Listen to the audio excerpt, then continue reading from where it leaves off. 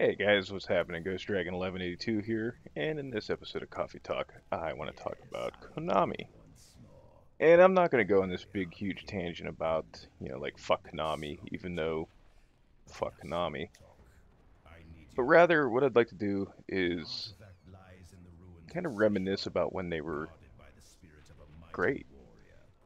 And, you know, a lot of gamers my age have fond memories of Konami. They were one of those companies that uh, just constantly, I don't want to say constantly, but I mean, a lot of the games I grew up with were Konami games. You know, the Castlevania series being one of the most notable ones had a huge impact on me because of my personal interest in like gothic architecture and horror movies and ghosts and goblins and things like that. And that was a series that, you know, the games that I could get my hands on, I very much enjoyed playing. Uh, you know, I started with, uh, actually I started with Castlevania 3, ironically enough, since that was at the time the first one in the, uh, the series, chronologically. And then I played 1, and I remember renting 2 or convincing my mom to rent me two because I was a kid. I, I didn't have the capabilities to rent video games at the time. and oh man, I hated two. Like at first, I was kind of like, you know, what do I do? And I'm like, well, it's kind of like the Legend of Zelda. You can you just got to figure it out, you know. And then some of the stuff in that game was just mind-boggling as far as being complicated and like weird shit. I mean, really at the time, if you didn't have Nintendo Power, who the fuck was gonna know that you had to like walk all the way to the end of that one map, sit there at the in the corner, crouch down, facing I can't I can't remember how it was, but you had to have like that one crystal equipped, and then the tornado would take you to the mansion. You know, who the fuck knows that? Um, although at the time, as frustrating as it was, looking back, it kind of it wasn't so bad. Like it sort of set the stepping stones in place for the eventual like Metroidvanias where you had to kind of figure things out and you needed certain items to get here and there and everything like that. And just it wasn't implemented good in Castlevania 2. But at, at any rate, I'm not going to rant on and on about that game right here. But Castlevania was a series that I just, I absolutely loved it. Um, Super Castlevania 4 is probably still my favorite. I know blasphemy. Uh, all those people that love Symphony of the Night, which Symphony of the Night is a good game, don't get me wrong. But Castlevania 4 was just, when that game came out on the Super Nintendo, that was a game that when you saw it in action, just like with spinning backgrounds and all the crazy shit that they could do in that game at the time with the hardware that was available to him, that was my first taste of like, this is what next gen is, or what you know, the the power of the FX chip, or oh, what was it? Oh man, I can't remember the name of the processor that was in the Super Nintendo that they took advantage of to like do that stuff, but at the time there was nothing out there that was even remotely close to being just like that complex and having backgrounds that did what that game did and it was awesome. Getting away from castlevania they had other franchises and licenses. Um, probably the biggest licensed games that i remember as a kid because I was a huge fan of the franchise in general, was the Teenage Mutant Ninja Turtles games. Now that first game was fucking terrible. Uh, fuck that water level. Or with the dam where you had to swim underwater and disarm the charges and not get killed by the seaweed or whatever it was, and getting a headache just thinking about that level. Um, it was alright. It kind of looking back, it's kind of almost like Ninja Gaiden with turtles. It was just, it wasn't that good. But Teenage Mutant Ninja Turtles 2, the arcade game, I fucking loved that game. I beat that game so many times, I lost count. I played the absolute ever-loving shit out of that game. Uh, because, and I mean, I was a huge Teenage Mutant Ninja Turtles fan, and that that game captured everything that I loved about the Turtles. It was, it wasn't like real like serious or anything like the comic books. It was, you know, more geared towards the uh, the cartoon and just the characters that were in it. And I remember being pissed off as a kid that they didn't have a figure of, oh man, I can't remember his name, but the uh, Nintendo version for the NES had a uh, couple extra, but well, it had one extra level where you got to fight um, some kind of polar bear, and I can't remember his name now, but he was like, he was kind of decked out like a biker, but he was at the end of the snow level. It was like I think the fourth level in the game. It was after you uh, got out of the sewers. I'm pretty sure.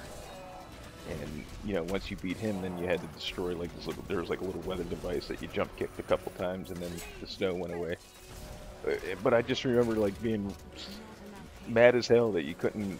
They didn't have a toy of that dude because I wanted to like reenact the arcade game with my turtles toys, and then they replaced um, a Rocksteady. There was a fight where you were in the original arcade game. You fought Rocksteady and Bebop at the same time. That was replaced with uh, Baxter Stockman in his fly form.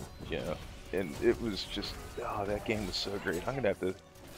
I have the arcade game downloaded on Xbox 360, but it's just not as great as that is. It just doesn't. It's not as awesome as that NES game was, and I mean, some people might disagree with me there, but that's just that was probably that was a game as a kid that I just absolutely loved, and to this day, I don't think I've ever had a experience with a Teenage Mutant Ninja Turtles game like that. Mostly because most of the games have sucked since then. Um, I did play Turtles in Time, but I didn't play it that much. I mean, you know, we were my family was blue collar. We didn't have money for, or my parents didn't have money to buy me like every game that I wanted. So I mean, we, my mom would rent me one on the weekends or whatever whenever school was in. She'd, we'd go to this. There was a old school store called Video World, and she'd take me there. We'd rent a game and I'd play it for, over the weekend and then take it back, and that was it. So I, only got to play Turtles in Time like once or twice, but I do remember liking it. But I just never you know, by the time I was old enough that I had a job and could buy my own video games, I, the Turtles franchise was pretty much largely forgotten by me. You know, inevitably, one game that gets brought up every time when you're talking about Konami is uh, Contra. And I have vague memories of Contra. I just remember playing it with friends a lot. Uh, my neighbor had it on the Genesis uh, because that's how you got to experience other consoles. You didn't have you buddied up with somebody that if you had a SNES, then you know you made sure you had that friend that had the had the Genesis and vice versa or whatever. You know, um, I remember going to his house and we'd play Contra. Uh, in that game, at that age, you know, I remember that game being hard as fuck, man. But it was fun, and that's a game I'd it's a shame because that's a series I would have liked to have seen eventually make a resurgence, but you know, I mean, obviously that's not going to happen now. And then, you know, I, I remember some other games like the Adventure Island series, which I can't tell you a whole lot of specifics about Adventure Island, but I do remember it being fun. It was just kind of goofy, you know. You, remember dude you played as was Master Higgins. And I remember the game being hard as hell because you died basically whenever anything touched him. you know? Um, and there was dinosaurs. You could ride around on dinosaurs. I do remember that bit. So, but that's about all I remember. Um, I think there was an evil witch doctor in there somewhere. But I mean, it, they just had franchises that in that era were huge and they were timeless. I mean, my my eight year old son, he plays Bomberman, and he loves it. And I I didn't play a lot of Bomberman as a kid. I remember the game, but it just wasn't something I played a lot of. But my fucking kid, man, he loves Bomberman and Frogger. I mean, who hasn't played Frogger? And then, you know, as time went on and the, we got through a couple console generations, then we got um, Metal Gear Solid, which was you know the the follow-ups to the uh, to Metal Gear One and Two on the NES, um, Silent Hill series, which I played. Remember playing the first Silent Hill at a friend's house on the PlayStation, and that I just remember being like nothing I've ever experienced before. Mind you, at the time I hadn't played any survival horror game, so that was just one of those games that it was just like, holy crap, this is cool. And I didn't play Silent Hill 3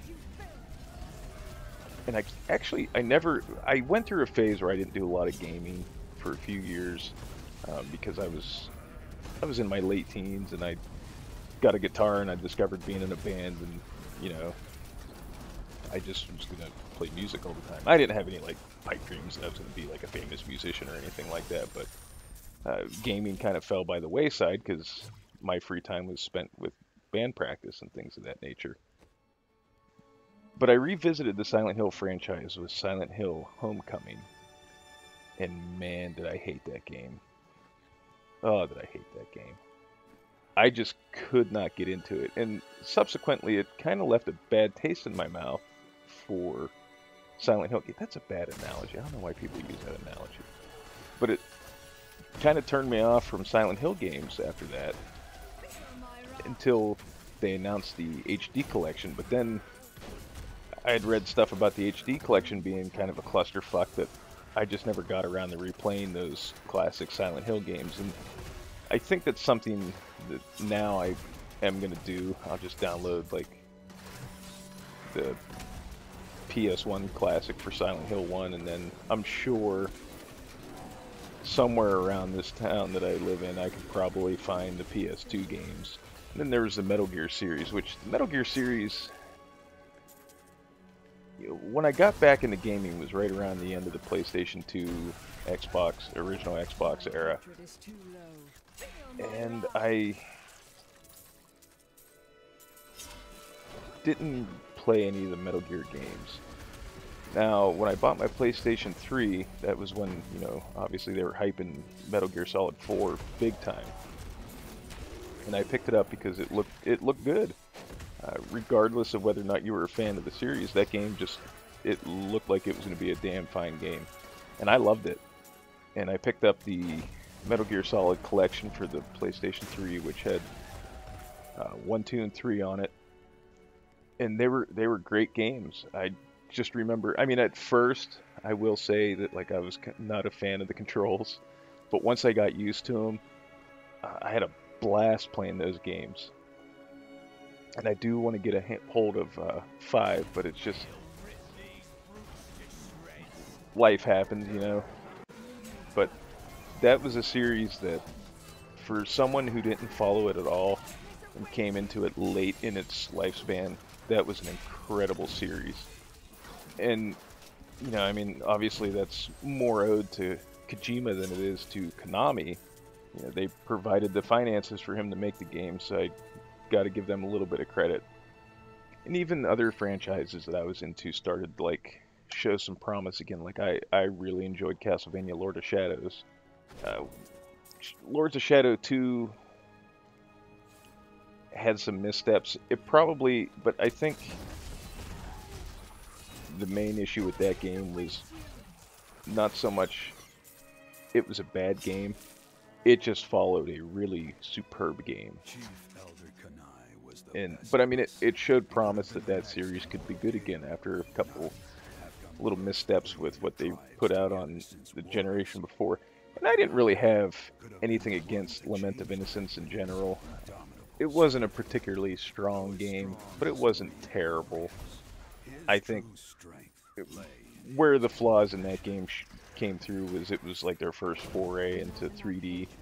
Uh, the combat in Curse of Darkness, which was the follow-up, was really good, if not a little heavy on Devil May Cry type of influence. And well, 3D action fighting games in general, but it felt a lot like Devil May Cry, which, I mean, at the time that was a series I was playing, so I mean that could be why it felt so familiar.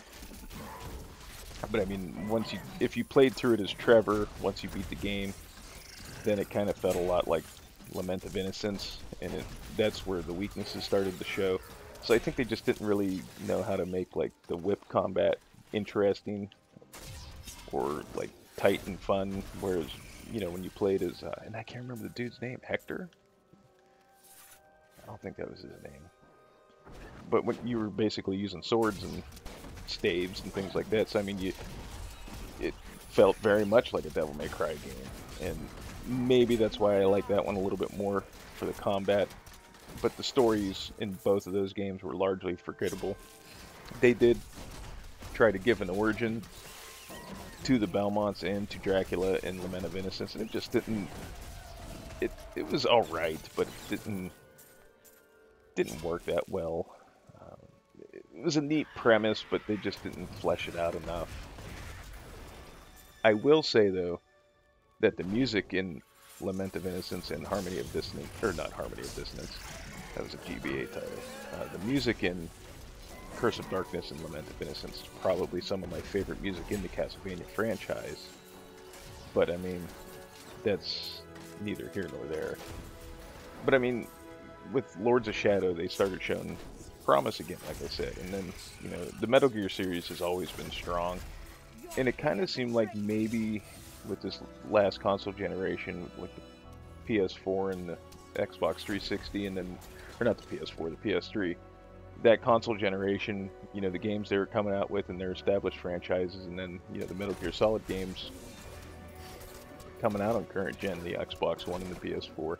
It seemed like they were starting to kind of make a resurgence, and, so, and the PT demo and Silent Hills and everything like that. It just seemed like Konami was finally getting to a point where they were going to come back and they were going to be a strong contender for releasing some really solid games and reestablishing those franchises, and then just didn't happen.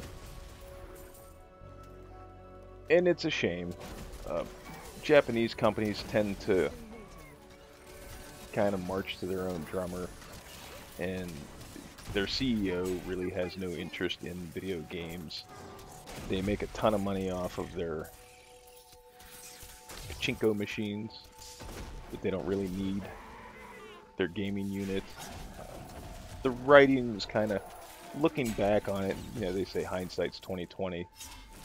Looking back on some of the stuff that they talked about in like their earnings calls and things of that nature, we should have seen this coming. They were starting to focus more on mobile games.